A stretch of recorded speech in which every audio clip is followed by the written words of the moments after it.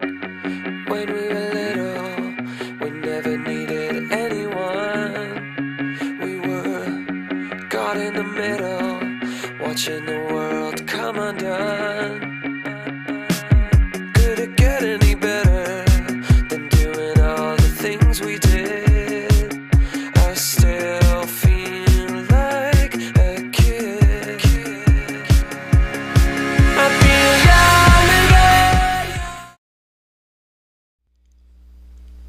Hola a todos, bienvenidos a mi canal, esta es Beba Queen y en esta ocasión les tengo un tutorial de San Valentín y para este tutorial voy a estar utilizando mi mezcla True Love, ahí está la imagen en pantalla y bueno pues vamos a comenzar con lo que es el diseño de la uña.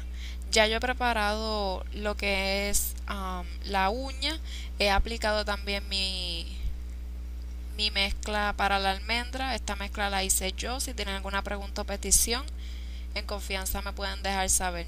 Estoy aplicando mi mezcla alrededor de la sonrisa, siempre cuidando que mi sonrisa se mantenga limpia, que, que no haya ningún brillo, no se quede pegado ningún brillo ni nada de eso en la almendra y continúo aplicando la mezcla en lo que es este el resto de la uña. Una vez terminado esto, pues comenzó a encapsular mi uña. En esta ocasión no quise ponerle ninguna decoración adicional. Eh, la mezcla de por sí tiene corazones en un tono rosa holográfico. So quise mantenerla lo más sencilla posible.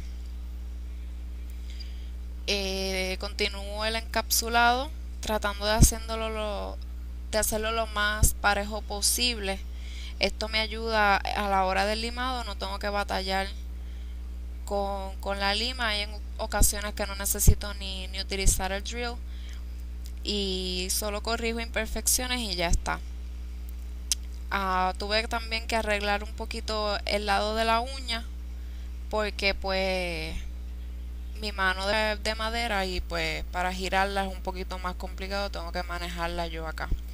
Una vez secado mi acrílico por completo, limo, eh, le doy forma a la uña y la pulo con mi, buff, con mi buffer. Y aquí estoy haciendo unos corazones con mi puntero y una pintura acrílica roja, rojo bien llamativo, un rojo sangre. Quería comentarles que cuando usen su puntero para los corazoncitos, recuerden que dependiendo del tamaño del puntero, eh, así les va a quedar el tamaño de los corazones. Ustedes se pueden dar cuenta aquí que algunos corazones son más pequeños que otros y es porque utilicé dos punteros diferentes. Ahora voy a estar aplicando unos rhinestones, unas piedritas. Y en esta ocasión estoy utilizando eh, esmalte transparente. Pero es porque es una mano de práctica. Si ya fuera un set mío, un set de una clienta, pues yo utilizo una pequeña gota de, de pegamento de uña y esto me ayuda a que, a que las piedritas se mantengan firmes ahí por más tiempo y no, no se caigan tan, tan fácilmente. Una vez secado completo el diseño, voy a aplicar mi esmalte transparente para sellarlo y ya ustedes pueden ir viendo cómo se va reflejando eh, los verdaderos colores de la mezcla. Diferentes tonos de rosa, el toque iridiscente que tiene y un poquito de holográfico que también tiene. Y bueno, pues aquí van a ver la uña completada, ya terminada. Recuerden aplicar su, su aceite para cutícula. Y bueno, espero que les haya gustado. Eh, muchas gracias por, por ver el video, muchas gracias por su apoyo. La mezcla ya está disponible a la venta, se pueden contactarse conmigo. Y muchas gracias nuevamente. Recuerden suscribirse, comentar. Y nos vemos luego. Cuídense mucho y hasta la